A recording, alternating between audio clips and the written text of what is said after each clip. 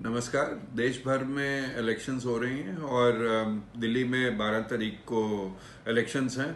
Indian spinal injury centre ने एक खास इनिशिएटिव लिया है कि ये जो पेशेंट्स जो अस्पताल में एडमिटेड हैं, उनका भी ये अधिकार है कि वो जा सकें और वोट डाल सकें। इसलिए यहाँ की एडमिनिस्ट्रेटिव डिपार्टमेंट और मार्केटिंग डिपार्टमेंट ने मिलकर ये इनिशिएटिव लिया ताकि उनको फैसिलिटेट करें, वो अपने पोलिंग बूथ में जा सकें वोट डाल सकें और अपने अधिकार का प्रयोग कर सकें बाकी नागरिकों की तरह।